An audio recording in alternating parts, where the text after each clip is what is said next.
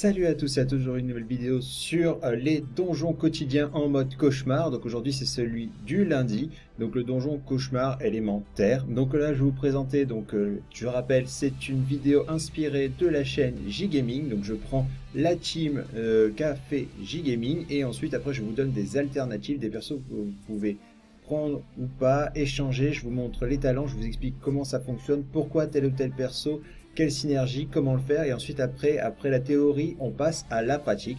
La pratique, des fois ça passe, des fois ça passe pas, c'est random parce que les personnages peuvent attaquer ou pas dans un ordre ou un autre. Si les attaquaient toujours dans la même ordre, ce serait bien trop facile. Donc là, on va commencer, je vais commencer par vous décrire la team que j'ai en ce moment. Alors, je précise, les persos, vous n'êtes pas obligé de l'avoir au même niveau que les miens. Euh, il y a certains persos, il vaut mieux plus les persos seront au niveau, plus ce sera facile. Mais il y a beaucoup de persos où vous avez juste besoin de l'avoir level 30 et ça suffit amplement. Donc on va alors le principe de cette journée en fait tout simplement c'est que tout simplement dans le jeu quotidien c'est le principe des voice shield. Vous avez des persos qui auront euh, donc des boucliers de protection au cou et euh, alors je sais pas si vous entendez ce bruit assez bizarre en fait c'est le bruit tout simplement euh, du, des fois du bus, en fait des bus qui passent devant chez moi, donc ne faites pas attention, c'est assez bizarre, si vous ne les entendez pas, tant mieux, mais moi je les entends, c'est perturbant. Donc, euh, comment ça se passe? Donc là, il va avoir donc des persos avec des voice shields qu'on va devoir supprimer, donc c'est pour ça qu'on a pris Kyle, grâce à son attaque au bout de 3, 3 euh, coups, qui va euh, enlever les buffs et qui va aussi au niveau de ses attaques, sont tous des attaques à trois reprises, donc vous permettre de supprimer les shields assez rapidement. Et aussi, bah, j'en profite parce que c'est un perso que j'aime bien et euh, qui fait euh, de gros dégâts. Vous pouvez remplacer Kyle si vous ne l'avez pas, parce que c'est quand même un perso assez difficile à obtenir. Vous pouvez le remplacer soit par Clan, qui est tout aussi difficile Clan, ou tout simplement un personnage très simple avoir, mais bon, il faut le passer en Awaken pour que ce soit efficace, c'est tout simplement chancelier. Voilà, ça c'est deux autres exemples. Il existe peut-être d'autres exemples. Je sais que certains passent avec d'autres teams. En plus, c'est super intéressant. Je, je te remercie vraiment tous ceux qui, dans les précédentes vidéos, ont mis leur team. Parce que voilà, bien sûr, quand je donne une team, ce n'est pas la team obligatoire, c'est juste une option, c'est juste un exemple. Donc si vous avez une team qui fonctionne mieux, plus facilement ou qui est plus facilement obtenable, n'hésitez pas à le mettre directement en commentaire sous la vidéo, comme ça ça pourra aider plein d'autres personnes. Euh, et euh, voilà, je remercie encore euh, tous ceux qui ont mis des commentaires dans la précédente et dans les précédentes vidéos pour mettre leur team. Voilà, tout simplement.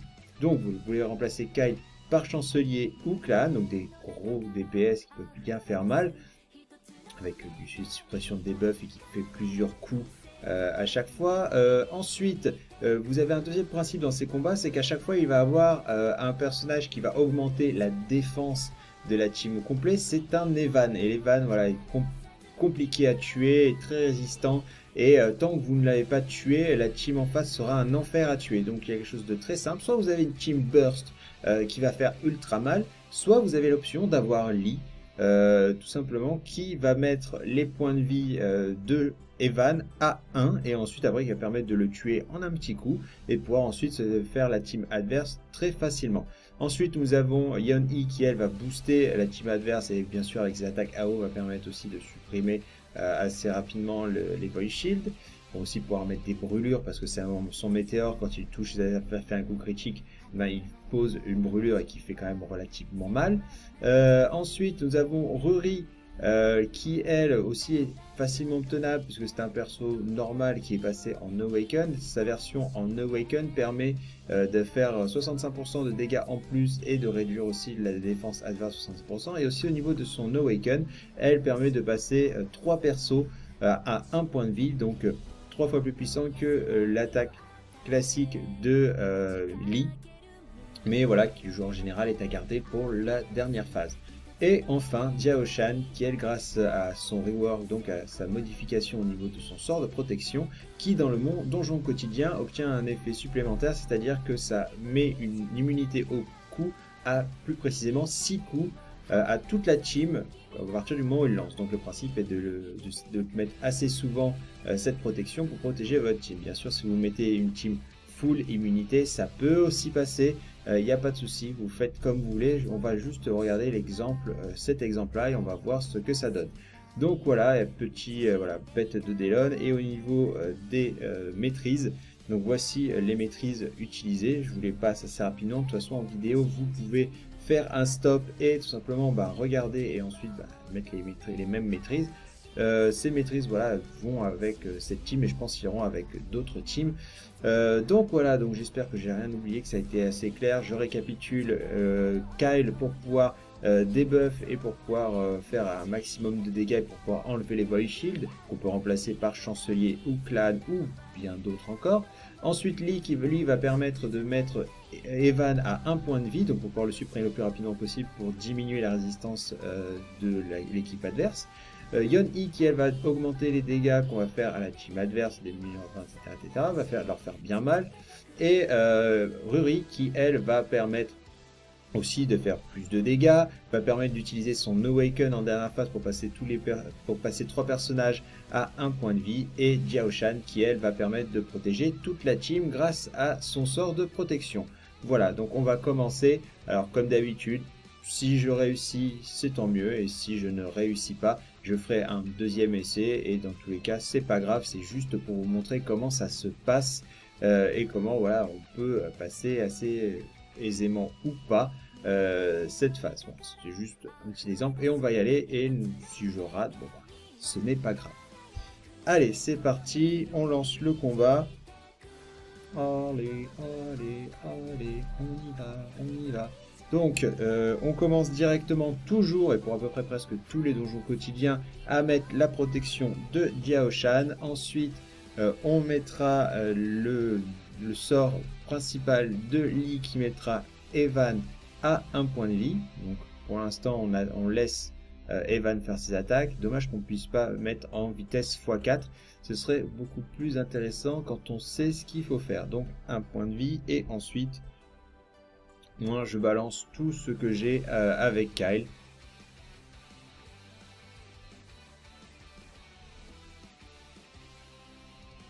Donc voilà. Après, mon Kyle, moi, est euh, bien équipé en termes de taux de compte. Donc presque à chaque coup, euh, il va renvoyer les attaques.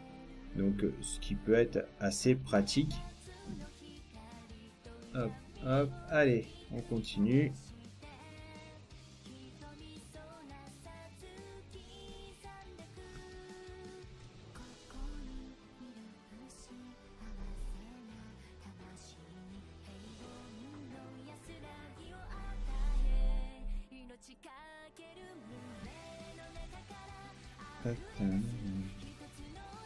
Alors, je vais le plus rapidement possible essayer de faire le mettre la protection. On n'oublie pas de la réinitialiser le plus souvent possible. C'est quand même euh, assez important.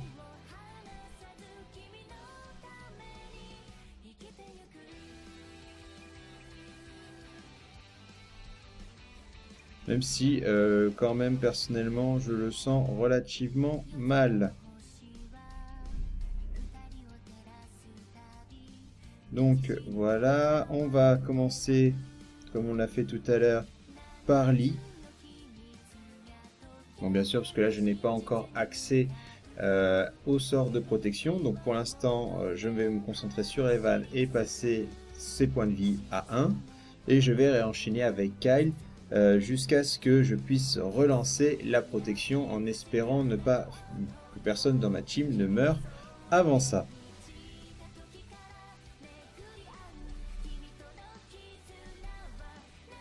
Donc là, je mets la protection. Ouf, oh, personne n'est mort. Je vais pouvoir lancer la protection tranquillement. Voilà.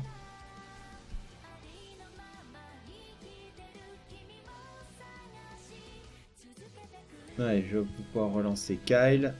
Alors, je sais pas si beaucoup de personnes m'ont dit que euh, au niveau des explications c'était très clair. Par contre, quand je passais en phase de combat, euh, les graphismes n'étaient pas géniaux.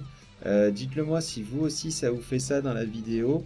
Euh, voilà, il faudrait, si, et si c'est le cas, j'essaierai d'améliorer ça. Mais pour l'instant, je ne sais pas euh, ce qui fait que c'est comme ça, tout simplement.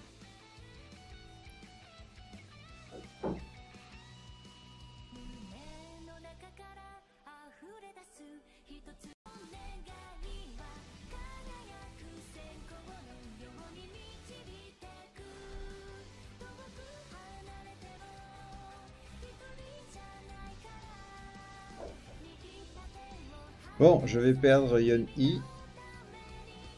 Ah, et j'ai perdu aussi tout le reste de ma fine équipe.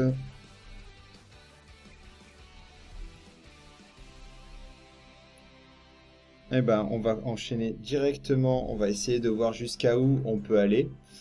allez, on va balancer directement euh, l'ulti de Ruri pour mettre tous les persos à un point de vie.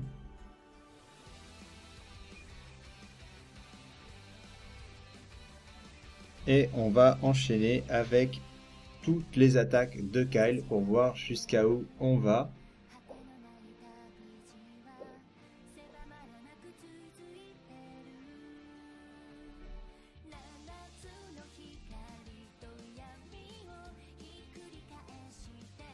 Puisque j'ai un temps de recharge, on va en profiter.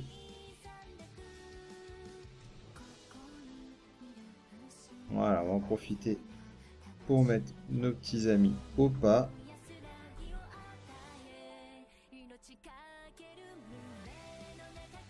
Et on va continuer toujours avec Kyle un maximum pour pouvoir supprimer tous les Void Shield et pouvoir faire un maximum de dégâts. Voilà, donc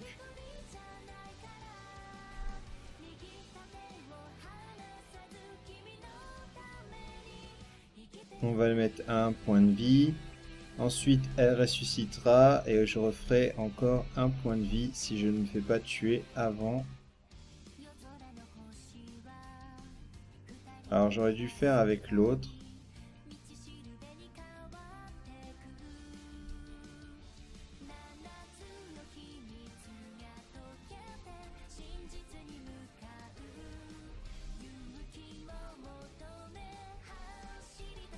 Ah, peut-être que ça passera si, si, euh, si l'automatique veut bien proc.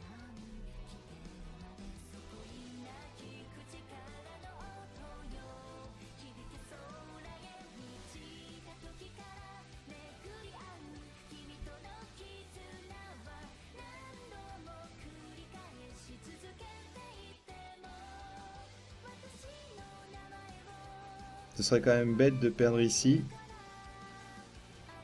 Et voilà, bon, au moins c'est passé, euh, de justesse, mais c'est passé. Euh, bien sûr, voilà, si j'avais mis des armes, peut-être Ali, euh, bah, il aurait pu aussi faire un peu plus de dégâts avec ses coups d'en sachant qu'il n'est pas du tout équipé. Euh, Diaoshan aussi, d'autres... Ruri est équipé moyennement. voilà, vraiment avec des persos très peu équipés. Les seuls qui sont bien équipés sont tout simplement Kyle et Yon-Yi. Euh, voilà, c'est les seuls qui ont un équipement correct. Donc pour vous montrer que vraiment même avec un équipement presque inexistant, euh, vous pouvez le passer euh, en ayant tout simplement une certaine composition et vous pouvez bien sûr adapter cette composition en fonction de ce que vous avez. voilà, et bien sûr si vous avez encore du mal avec le donjon enfer, petit, petit, petite aide que vous pouvez faire, ben, déjà j'ai fait des vidéos où vous pouvez trouver des vidéos sur internet vous expliquant comment passer le donjon en mode enfer. Pour ma part, pour faire le donjon en mode enfer assez facilement, je me mets toute une team immunité, que des teams avec euh, des immunités au coup. Euh, j'en mets beaucoup et je mets une team qui a du DPS, une team offensive avec de l'immunité et en, en général ça passe crème. Donc voilà, essayez vraiment de mettre de l'immunité à fond et en général ça, le donjon enfer passe assez aisément. Donc voilà, euh, donc voilà, bah, c'est tout ce que j'avais à dire sur cette, euh, sur ce donjon quotidien.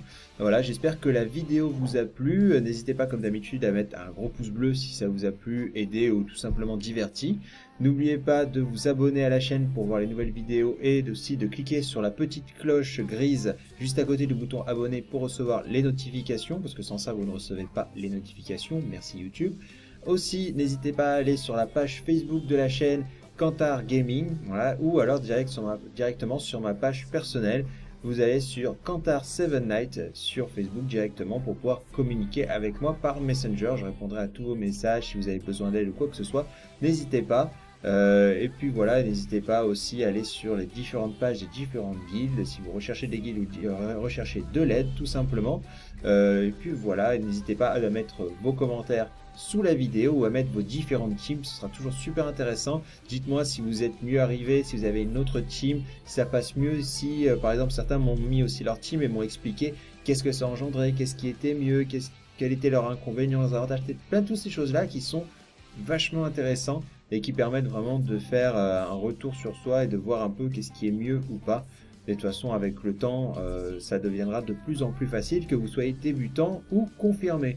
Donc ne vous inquiétez pas à tous les débutants ou à toutes les personnes qui ont du mal ou qui ne sont pas encore au donjon cauchemar, vous inquiétez pas, un jour vous y arriverez. On a tous commencé en bas et vous atteindrez facilement la fin de ce donjon en mode cauchemar. Voilà, ne vous inquiétez pas, continuez et surtout, principalement, amusez-vous, c'est le principal et n'oubliez pas de parler du jeu autour de vous, c'est super important.